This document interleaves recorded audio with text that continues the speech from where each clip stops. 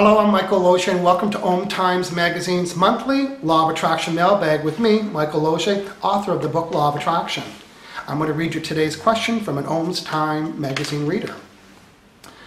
Why am I not having success with my affirmations? Well, this is a really great subject. Now, let me recap Law of Attraction. The definition of Law of Attraction states, whatever I give my attention, energy, and focus to, I can attract more of it.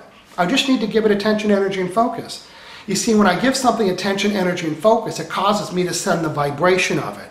Why is that important? And it's a feeling. So I'm having a feeling about that. It's either negative or positive. I'm sending the vibe. Because law of attraction is in this room. It's in your life. And it has one job, is to match the vibration that you're sending. So you can tell the vibration that you're sending by taking a look and seeing the results you're getting. It's a perfect match. So today's question is being asked is, why am I not getting results with my affirmations? Now remember, law of attraction is responding to vibration. So here's an affirmation. I have a happy, slender body. Oh, that sounds pretty positive.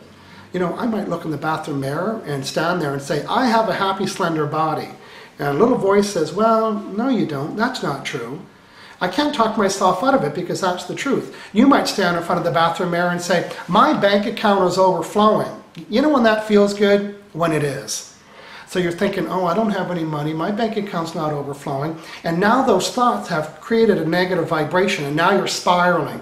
And one negative thought found another one, found another one, and now you're totally negative out of control. Here's what you need to hear. A positive affirmation can send a negative vibration. And the words to the affirmation, although they were positive, are not matching the vibration. That's called incongruent.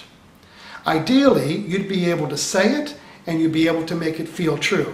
In my book, there's a section called How to Re-Language Affirmations So They Feel Better. I'll give it to you right now.